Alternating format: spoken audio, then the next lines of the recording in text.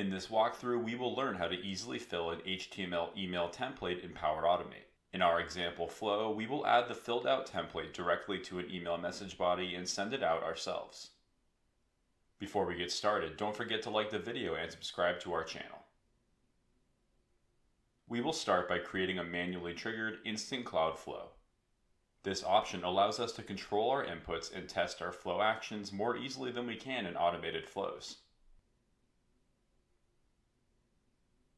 On the flow diagram page, we will first create inputs to replace placeholder strings in our HTML email template.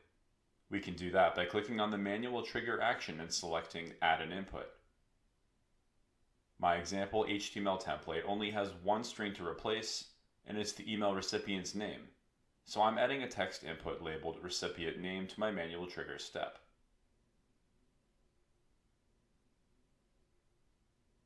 Right after that, we will add a get file content action to our flow to retrieve our HTML template contents. I will be grabbing my file from a OneDrive folder.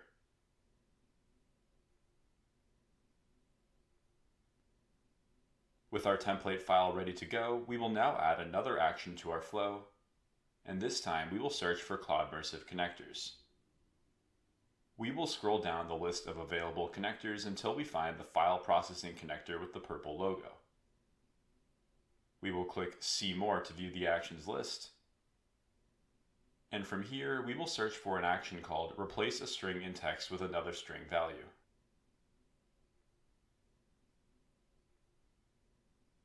After we select this action, it's time to create our connection with a Cloudmersive API key.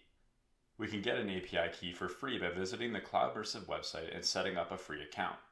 This will give us a limit of 800 API calls per month with zero commitments. We will now click Show All to view our request parameters.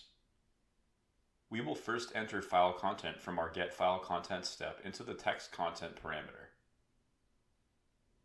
After that, we will enter the target string we're replacing in our HTML email template document. The placeholder in my document is the word name enclosed in brackets. We will then replace our placeholder string with the dynamic content we created in our trigger step. If we want to replace more than one placeholder string in our flow, we can simply add this action into our flow again and use output content from the initial text replacement step.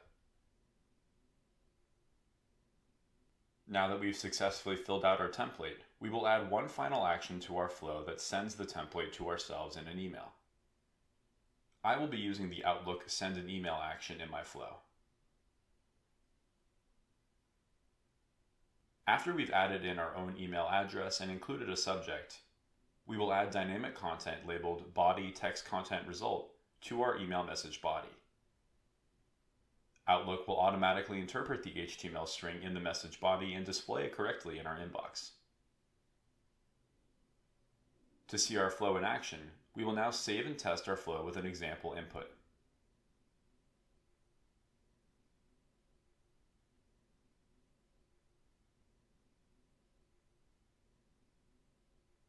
When our flow finishes running, we will find an email containing the custom filled HTML template in our inbox.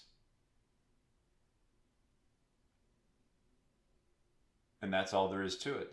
If you have any questions about using Cloudmersive APIs in your Power Automate flows, please feel free to reach out to any member of our team.